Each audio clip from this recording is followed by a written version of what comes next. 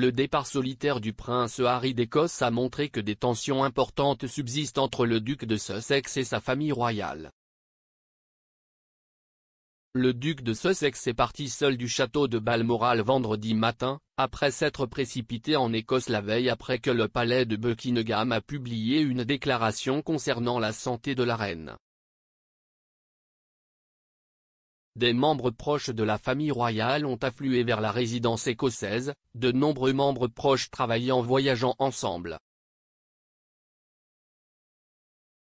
Une déclaration officielle est venue du palais jeudi soir, confirmant que la reine Elisabeth II était décédée à l'âge de 96 ans. Le duc et sa famille royale, selon le correspondant royal Cameron Walker. S'exprimant devant la résidence royale écossaise, le journaliste royal de GB News a déclaré, les portes se sont ouvertes ici au château de Balmoral et deux Range Rover noirs sont apparus et sont partis très rapidement. Point dans la voiture avant se trouvait le prince Harry, nous n'avons pas bien vu qui était dans la voiture arrière mais nous supposons que c'était son personnel de sécurité. Il est parti seul, si est le point ici et il a également voyagé séparément hier jusqu'au château de Balmoral. Il n'était pas avec d'autres membres de la famille royale, mais le prince William, le prince Andrew et le comte et la comtesse de Wessex, nous comprenons, ont voyagé ensemble. Cela montre encore, même avec la mort de Sa Majesté la Reine, qu'il y a toujours une distance nette entre le duc de Sussex et le reste de la famille royale. Le prince Harry est arrivé au château de Balmoral vers 20h jeudi soir, bien plus d'une heure après l'annonce du décès de sa grand-mère. Il était le dernier des membres proches de la famille royale à arriver en Écosse alors que des personnalités royales couraient de tout le Royaume-Uni au chevet de la reine. Un porte-parole du duc et de la duchesse de Sussex avait initialement déclaré que le couple se rendrait ensemble à la reine, bien que la déclaration ait été rapidement corrigée pour annoncer que le duc de Sussex ferait le voyage seul.